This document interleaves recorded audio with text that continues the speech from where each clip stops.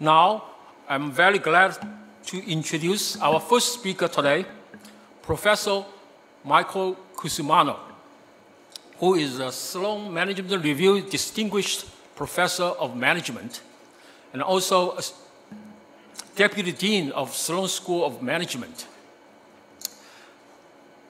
He is a world-renowned expert in corporate strategy, innovation leadership, and digital platforms.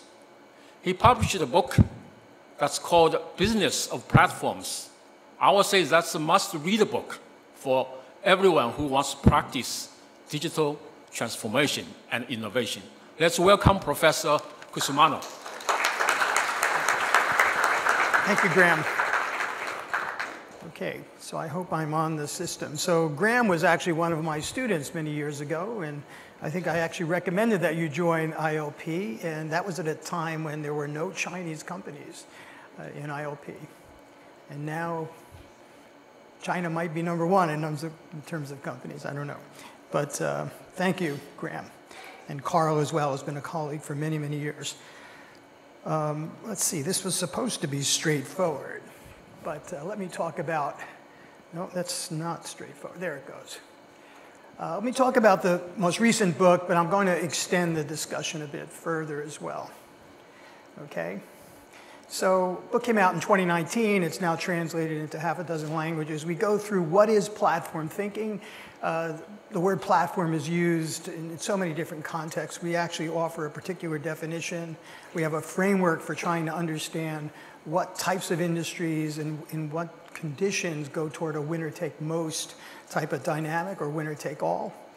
Um, we talk about how you build a platform business, common mistakes that people make, uh, entrepreneurs or even uh, big companies. We have a chapter on old dogs and new tricks, which is can we teach old companies to think like uh, digital platform companies, and how do you do that? I have another chapter on double-edged swords, uh, the negatives and, as well as the positives of platforms, and I'll talk a bit about that today too. And then also a little bit about uh, the kinds of platforms we can expect to see in the future, and I'll uh, expand on that today as well. So there's not a lot of time, but I'll do the best that I can. First point to make, I've made this a number of times before, over the past 25 years, platforms are emerging everywhere. Now they basically dominate uh, all, tech, all high technologies. Um, and you know, computers and smartphones, we're used to that, social media, but even things like the industrial Internet of Things, sharing economy, payment systems, web services, really platforms are everywhere and they're working with other platforms and on top of other platforms. The granddaddy of all platforms is really the internet at this point. So what, is, what do we mean by the term platform? Uh, and what do we mean by a platform company? So usually we have a list here of some of the most valuable companies in the world being platform companies. Uh, when we look at lists of unicorns, uh, we see maybe 60 to 70% of those billion dollar companies are also platforms in one form or another. Um, so platforms are really everywhere. The investors have jumped on the bandwagon of a lot of platforms. And I'm going to talk about when that makes sense and when it doesn't make sense. So first, in terms of definitions, what do we mean by the term platform? And again, people have been writing about this for decades. I even wrote a book in the 1990s about platforms in the automobile industry. Uh, and that was very different. That was about product platforms, building an underbody and multiple models based on common components. But the way we've come to use the term platform is, is broader, it goes beyond the company. It's a foundation beyond the company for the most part uh, and it could be a product or a service, but it is a foundation that many different individuals or corporations or other organizations can use to exchange information or to create and sell different types of goods, which we call complementary products to the actual platform. So the best example are apps for an iPhone, right? Those applications are complementary to the platform, which is the iPhone. The more apps you have, the more valuable that platform becomes an early platform was the telephone, right? The more users you have, the larger the network, the more valuable uh, the telephone as a, as a network becomes. So this this dynamic is what we call network effects. So there has to be some positive feedback loop where there is growing value to either the users of the platform directly or indirectly as there are more users or more complementary products and services that leverage the platform. So the investors get excited because the kind of growth we're talking about here is, is not linear, it's, it's potentially exponential. And uh, again, so that's how you see Facebook grow from two users to nearly 3 billion users in just a, a short period of time. It's through those network effects. And the platform is essential, that technology in the middle is essential because the interactions or the innovations would not occur, or at least not occur so easily without that platform in the center. Okay, so that's why these platform companies have become so valuable. Again, I just want to reinforce the difference between the old way of talking about platforms uh, and this more modern way of talking about platforms, although, again, we started writing about these in the 1990s. But the old type of platform is a, this hierarchical type of structure. It's really a product platform, maybe extending to a supply chain. So there's an original equipment manufacturer at the top, for example, an automobile company and they have a series of suppliers, and innovation is largely through specifications and contracts. So, yes, there is a network of suppliers, but the innovation process is not open, it's closed, managed by the company, controlled by contracts. And usually, like an automobile company, will have a few hundred suppliers in this kind of network. But what happened, beginning really with uh, Microsoft and DOS and then Windows, uh, we began to see this broader ecosystem, and we began using the term ecosystem in the late 1990s and early 2000s, where the platform is, at, is a technology. Uh, it's at the center of this, oops, sorry, I didn't mean to do that. It's at the center of this more nebulous network of users and uh, complementers, companies that are using their own R&D to create a product or service that leverages some features or functions in the platform or the user base of the platform. And you have other kinds of partners, for example. So this distinction we're making here is between a product platform, which could be extended to a supply chain, and an industry platform, which is similar. There are also reusable building blocks that companies can take and build products around but it's open to this much broader global network. And so this is how we get millions of applications available on a Google Android phone or an iPhone from Apple or a Windows uh, computer in this model here, this nebulous industry platform model that could never be done in a hierarchical, hierarchical uh, controlled pyramid type of platform or product platform model. Okay, so that, these are just some basics. Now, the problem, uh, or at least what makes platforms interesting, is that all sorts of platforms have emerged. Uh, the first one that I studied and wrote about in 1995 in a book called uh, Microsoft Secrets was about DOS and Windows as an innovation platform where other companies built applications around, uh, including Microsoft. Uh, and then later, uh, after 1995, after Netscape browser and Internet Explorer browser was available, we saw a bunch of companies creating different kinds of marketplaces on the internet. So we have marketplaces as, a, as another kind of platform. But we've used the same term, uh, platform, for these kinds of companies, and they're radically different, an operating system versus an Amazon marketplace. But what do they have in common? So the first thing they have in common, and the reason why we've used this industry platform concept, is that they bring two or more sides or actors in a market together. Okay, these are key market participants. In the case of Windows or the smartphones, it's bringing together users with these third-party innovators of complementary products and services. They would not be able to connect or connect so easily without that platform in the middle. Um, in the case of an Amazon marketplace, it's bringing together buyers and sellers, right? There's no other way Amazon could sell a million different books in 1995 or 500 million products today without this kind of marketplace function. They could not warehouse uh, so many products or buy and resell so many products on their own. Second, all of these types of platforms generate network effects. And we could say that the most value they get is from the network effects.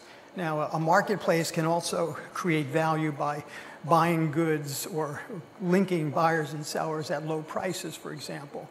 But it's the number of large number of buyers attracting a large number of sellers, or a large number of sellers attracting a large number of buyers, or somewhere in, in an operating system. That dynamic is unique to industry platforms. We don't see that dynamic in product platforms or supply chain platforms. And I should just define direct network effects or same side is when users are connecting with other users and that creates a separate value, like with Facebook, friends of friends of friends and friends of friends of friends, et cetera, like the telephone network. Indirect network effects, I'll give you an example of, but that's connecting users with advertisers or uh, third-party application developers with users. Third, all of these platforms have to solve a chicken or egg problem to get started. And this is where that special value comes. One of the different problems in platform businesses is that if the value is coming from linking multiple sides, how do you get started when there's no population on either side, right? So we have a long discussion of how you get started. You have to either create value for one side first, and then that can attract another side, uh, or you have to kind of zigzag across the sides, create little value at a time, or feed each uh, side a little bit at a time. Credit cards had this problem. How do you start a credit card business? Well, you've got to deliver machines to process the credit cards. Uh, nowadays, we have a different technology, but in the old days, you had to seed all the merchants with uh, machines and also on the other side, you had to send out cards, credit cards, to your better customers. And you, banks did that a little bit at a time, kind of zigzagging across the two sides. And then eventually, you have enough merchants that accept cards and enough people with cards that the credit card companies could actually charge merchants to pay for that. So credit cards is an example of an older industry platform, but the dynamics are very much described by chicken or egg problems, and they're all common. It gets very complicated with some of the more complicated platforms, and that's why I like to say it's, it's kind of like playing three-dimensional chess. The, the business models are different from just creating a great product or service and selling it, because your success may actually depend on what third parties do, right? So that's a very, very different business model. Okay, the other major innovation in, in the research and by the way, these slides will be available uh, to anyone who may be hard to see this. Again, we've been looking, my co-authors and I, David Yoffie from Harvard Business School and Annabelle Gawer, uh, who was a former doctoral student of mine. She now teaches at University of Surrey and Oxford in England. Uh, we decided we would divide all platforms into two types. One type are transaction platforms, uh, and these are exchanges of information or goods, and the platform company will take a piece of that transaction. The other kind of platform is the first type that I had studied, which we now call innovation platforms. So we did a book in 2002, Annabelle and I, called Platform Leadership. It was about driving industry level innovation uh, at Microsoft, at Intel, and Cisco, NTT Docomo, a few other companies. So these are uh, distinctive types of platforms. Let me go back here. But then we have this group in the middle that are hybrid companies, which means they have both a transaction platform and an innovation platform. They may have started on one side and then added the other type of platform. But it is this uh, hybrid approach that we think is incredibly powerful. And it's, it's become fairly simple to do this.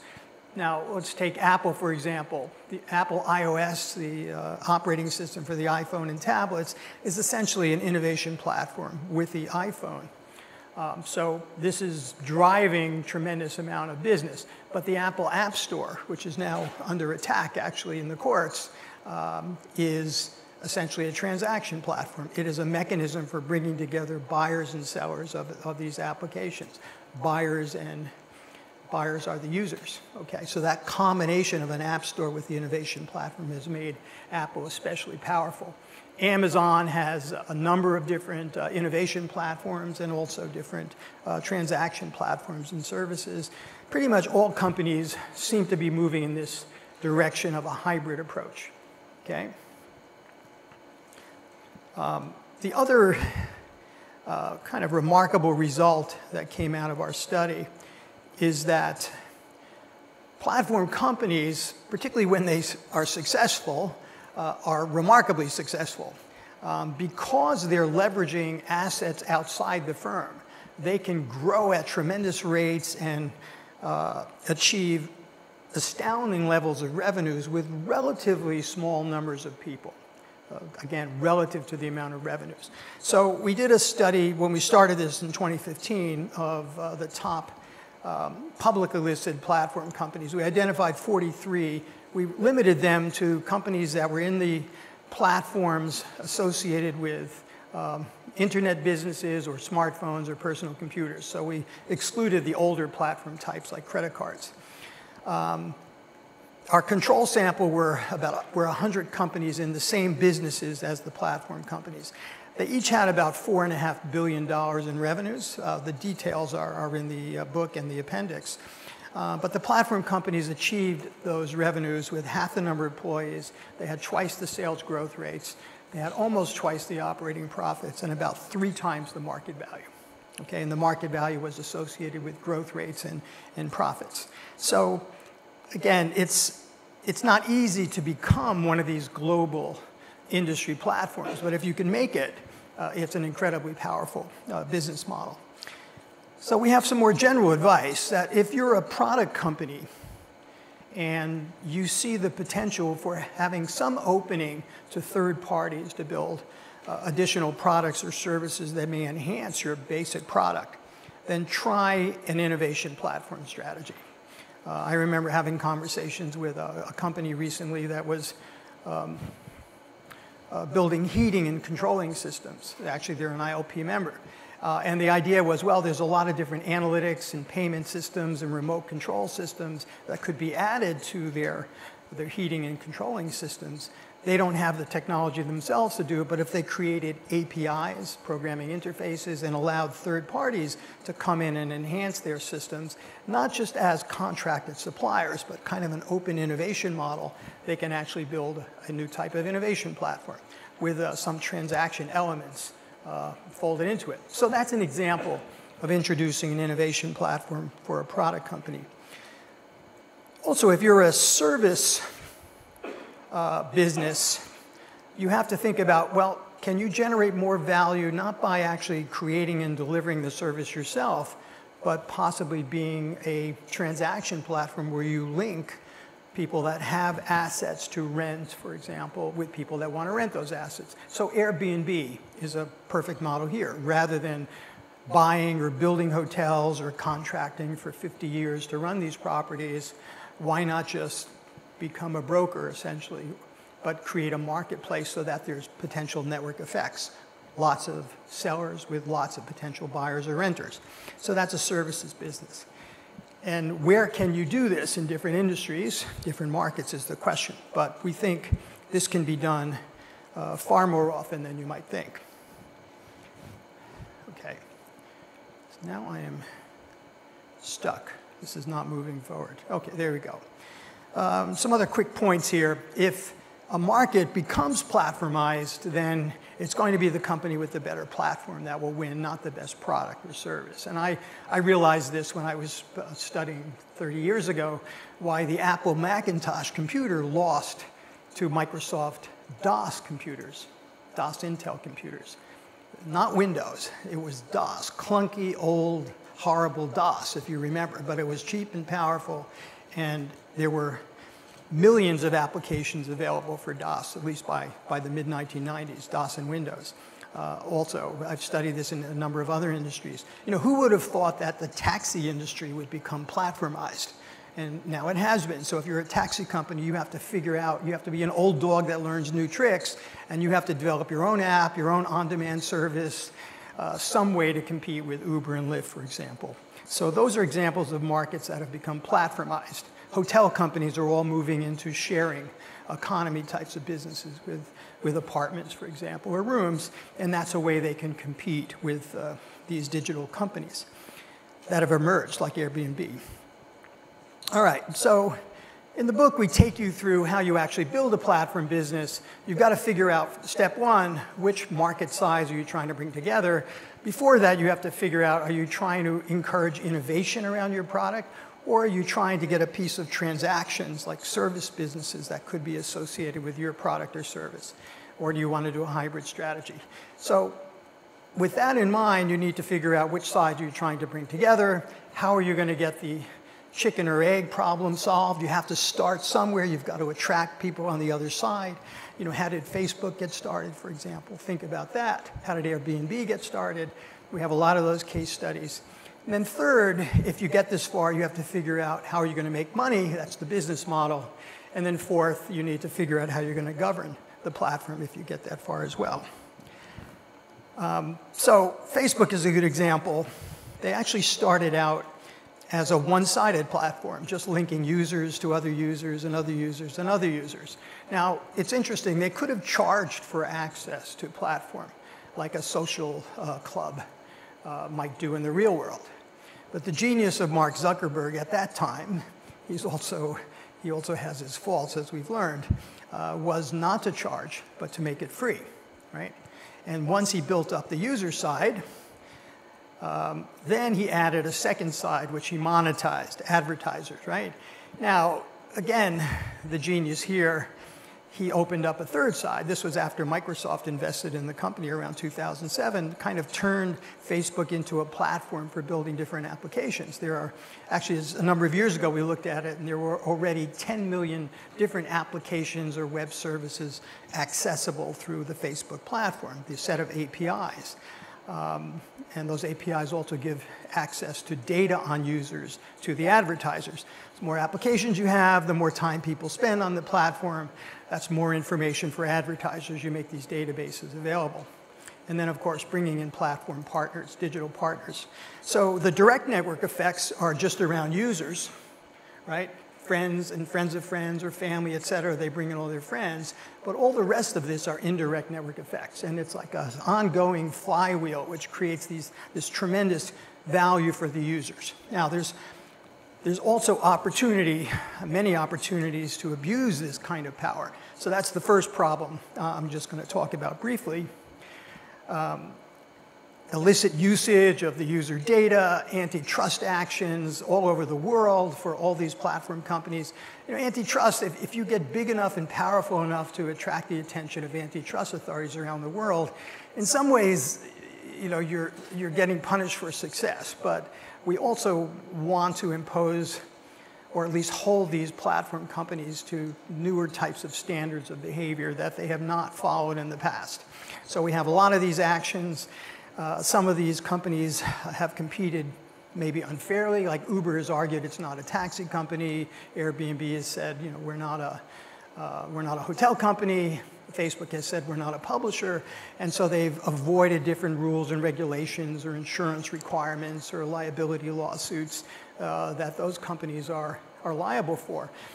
But are they special or not? You know, is Uber just a technology app or is it really in the transportation business? I think it's in the transportation business and should be regulated like transportation companies. So we're still sorting out those kinds of issues and also labor and the gig economy. Uh, if you don't hire people as full-time employees, it costs 20 to 30% less. That also gives these digital platforms an economic advantage. So the problem of platform power is a big one.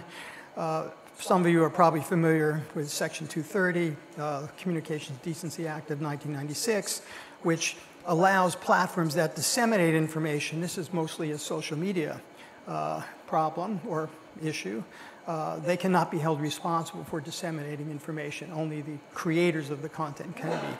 So they're kind of given this exemption from any kind of liability or libel uh, uh, lawsuits for content. And some people think that, you know, even though that was important in the early years, more recently it's become a problem because the lack of consequences for these companies like Facebook for promoting or disseminating uh, these conspiracy theories or false information about health of the election. By the way, that material goes viral very quickly, and when people are angry, they click on all sorts of different ads. So these are billion dollar machine making tools for these social media companies, but there's no real moral consequences for it. So lots of government actors and others are now stepping in criticizing them, saying that we need to hold these companies responsible. We need to revise Section 230 or do other things. Otherwise, we're destroying the internet as a common resource. Okay, so regulation is difficult for these companies because the technology moves very fast, the government doesn't really have experts on the technology as well as the law, and everything is, is changing. It's a moving target. So we've been arguing that we need some more government oversight and changes in some of the regulations. But we also need companies to step up with more self-regulation, that they have to understand that if they don't control what goes on on these platforms, they can actually destroy uh, the platforms, which is a common resource for all of us. And in other industries, movies, video games, airline reservations, advertising for, for tobacco and alcohol, government has put pressure on companies, and companies have formed coalitions and standards and codes of conduct, and they've regulated themselves under pressure on the, the recognition that they're going to destroy their markets if they don't do something to create a more healthy environment.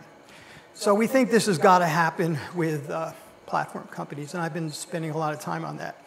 So in four minutes, let me talk about the other problem, which I, we call in our book platform mania, and that is uh, people create platforms around all sorts of businesses, and they think because they create a platform, it's going to become a good business. But platformizing a bad business doesn't make it a good business. And by bad business, I mean a, a, a business with low profit margins. So, you know, onboarding people for Uber, for example, or even Airbnb. Airbnb is different because you're accessing digital assets that are unused.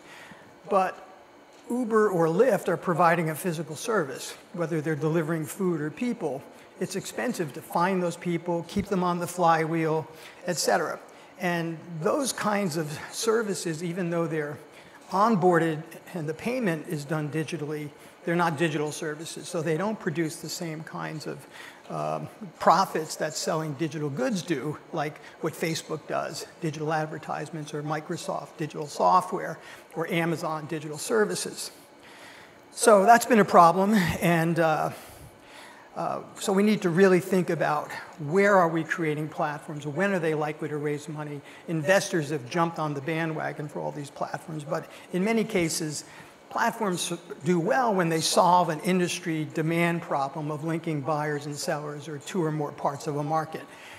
If a platform has to succeed just by subsidizing one or two sides forever, then the bigger it gets, the more money it's going to lose. And that's essentially what has happened to Uber. Uber. In that case, the platform is not growing via network effects, it's growing via subsidies or low prices. And that's that's a recipe for, for disaster. The bigger it gets, the more money it loses. Um, so we've seen these examples. You know, Uber, it is bringing together two sides, but keeping drivers on the platform is really difficult. They have to make, keep making payments. There's a lot of competition. They brought in other partners, but they're essentially subsidizing drivers and riders at a very high rate. Um, everyone has gotten these little messages in your email, right, or your, on your phone, $30 coupon for a free, free meal, et cetera. Drivers are getting paid a couple thousand dollars just to, to stay on the flywheel to drive because you can't have Uber without drivers being available. You can have riders, but you need those drivers to be there. Uber's entire uh, business model is having rides available essentially on demand on your phone whereas it's not the case with taxis. So that requires a lot of drivers. Drivers have quit at very high numbers. It costs Uber several billion dollars a year just to subsidize uh, the driver side. And that's not talking about subsidies yet for the, for the riders. So the bigger it gets, the more money it loses. We have other kinds of businesses that people have thought could be platformized, like bike sharing in China. This is not really a platform. It's just a company buying bicycles and renting them out at below cost. And the company owns the assets. It's not linking people with bicycles with people that want to borrow the bicycles, which is another model. Docomo tried that uh, in Japan. But essentially, this is, this is a graveyard uh, for, for the used bicycles.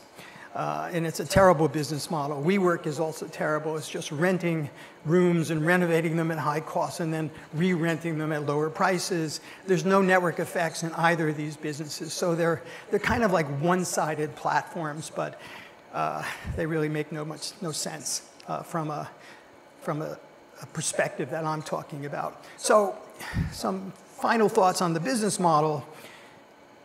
First, you should start with a good product or service. You know, Chinese bike rentals is not a good product, not a good service. It needs to be subsidized by someone. Maybe a city can subsidize it to reduce pollution, but that's a different business model. Target an industry where there's a market failure of connecting two, two or more sides. Uh, that's where a platform business can be useful. Uh, you do need to choose an innovation or transaction or hybrid strategy, but once you do that, you want to build an ecosystem around that core product or service. You do have to subsidize, in most cases, the most important side. For example, Facebook makes access for users free. It makes uh, access for application developers free. But it charges advertisers and it has a barter arrangement with digital partners or content partners. But there has to be some kind of subsidies, subsidies to break the chicken or egg problem and get started. But once you've launched, once you're growing, you want to gradually reduce that subsidy and grow through network effects. Or you can keep the subsidy like free access for Facebook users as long as you can fully monetize uh, the network effects through another side, like charging advertisers. But if you're only surviving on below cost prices or two-sided subsidies, it's a recipe for losing lots and lots of money. It's a great way to lose money, by the way. All right, so I have a, I believe I have a, a few minutes, quickly, few minutes left, and then we'll have some Q&A. So what's going on in the future? And we devote a chapter to this, and we've been writing some other articles, one in Sloan Management Review, we clearly think that the future is hybrids. Whenever companies build an innovation platform, there's going to be, it's going to be paired with a transaction platform, maybe even vice versa.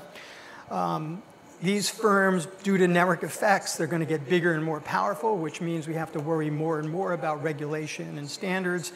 And we're seeing a whole bunch of new enabling technologies that have become the source for different platforms. So artificial intelligence and machine learning in the home, as well as in the automobile and the enterprise, uh, self-driving vehicles connected with industrial Internet of Things types of platform technologies, uh, I'm experimenting looking at gene editing, different types of technologies there, and I'll say a bit about that. And also quantum computing is another new area that we write about, and I've been writing about this, and also ILP has been holding some webinars on that as well.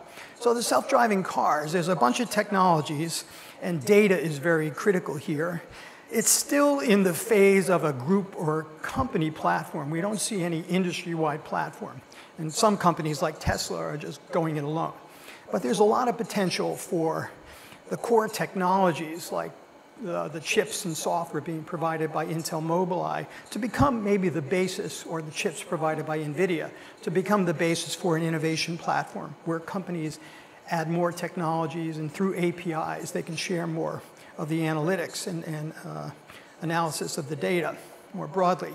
Uh, there could also be a transaction platform for a sharing economy, self-driving cars, autonomous driving, like, a, like Lyft and uh, Uber have been experimenting with, but more around uh, the self-driving technology or even robo-taxis that are called automatically. So Intel Mobileye is experimenting with that. We're going to see some attempts at this. They may not succeed, but at least they're coming. Uh, biotech is more complicated. Technologies like CRISPR are really toolkits. But I've been talking with a number of uh, pharmaceutical companies and also the MIT Center on Biological uh, Innovation. Um, there are potential for reusable modules or plasmids. Uh, actually, the very rapid development of vaccines followed a kind of a platform strategy where we understand these different proteins, such as in the coronavirus, uh, and can very quickly spin off different variations of treatments from them vaccines, different diagnostics, pills for dealing directly with the virus. So that's still kind of a company uh, platform strategy, but some platformization could occur beyond individual firms where a number of firms collaborate for sharing some of the technology or different services for, um, for um, testing and clinical trials, commercialization, and not only the innovation side. So we'll see what happens there. Uh, biotech is, is very much a competitive industry around these patent races, so cooperation is, is more difficult than we saw uh, in the IT industry. And finally, quantum computers, uh, which I've been following for almost 20 years now from the very beginning. These are not digital technologies, by the way. These are more like analog technologies with some various digital interfaces. But as you probably heard uh, a number of times, um, uh, circuits can represent zero or one. They have this telepresence notion that's also going on, correlated qubits at a distance. So they have a lot of very strange but very powerful properties. So we do predict that there will be, and, and actually it's not even a prediction, it's already going on. There's already a platform battleground going on between the basic architectures between the analog types of computers, say built by D-Wave, and the more general purpose uh, gate array technologies built by Microsoft and IBM and a number of other firms. And so they're trying to build ecosystems around their, their particular technology platforms, working with universities and others. And there's also transaction platforms uh, opportunities here, encryption services, secure communication services, people will not probably buy quantum computers, but they'll buy quantum computing services, again, for encryption and communications, possibly for other services like optimization uh, and simulation. Okay, so that's how we predict that will go. Okay, and China is already leading in a number of areas there. All right, so finally, some conclusions. Not every product or service will become platformized, but many of them will. And so it depends on how creative you are in thinking about platform opportunities. There's a lot of opportunities uh, that present uh, ways to save money here. You don't have to do all the innovation yourself or through contracts with suppliers. You don't have to own all the assets you need to build your business. You can use this transaction or innovation platform approach. Uh, there's more ways to make money. You can monetize one side and not another side, but there's also more ways to lose money, right? So you have to be careful about that.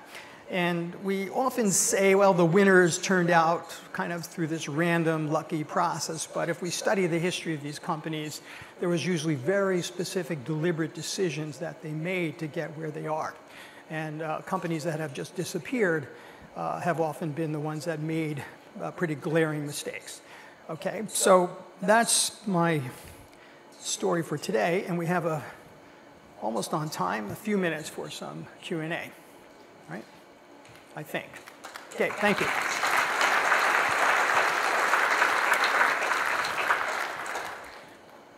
How are we managing that? Oh, so I, I just read these and respond. So what influences how one good idea for a platform business succeeds and another one does not? So we do have a framework for trying to understand the winner take all or most dynamic. So you have to be able to create strong network effects is the first thing. Uh, and not all these platforms create strong network effects. Second, you have to, uh, and this is also unique to platform businesses, you have to try to limit what we call multi-homing. That is the user or complementers using more than one platform as their home. So, you know, Facebook becomes so powerful because that becomes the home for people doing social media, or LinkedIn becomes the home for professional uh, uh, linkages, or Amazon Marketplace becomes your shopping home if you want to go shopping, and that's also combined with an online store. So you need to figure out how to do those two things. And, uh, and that's specific to platform strategy. Other elements, our more conventional strategy. You've got to think about creating barriers to entry um, to keep out the competition. So there's, um, there's lots of things that go into that. And sometimes timing is, I've been part of many platforms that were just too early, for example, and they just disappeared. So timing is important as well. Um, okay, so I see, how do you manage multi-homing? So that's actually, nobody's voting about that, so mm, that's important, though. Good examples of manufacturing. Can Ethereum or crypto be considered a platform? Uh, so Ethereum may be, but uh, the blockchain technology is another enabling, uh, well, it's an enabling technology. So then you've got to create a platform around that. So yes, the whole Ethereum technology or even Bitcoin with uh, the different transactions that are involved, uh, that is a kind, that is a platform for exchange. There's definitely network effects associated with, that. The more uh, merchants or individuals that can accept uh, that type of uh, cryptocurrency, then the more people you will have using it. So there's definitely a platform element to that. Chicken or egg, they've, they've solved the chicken or egg.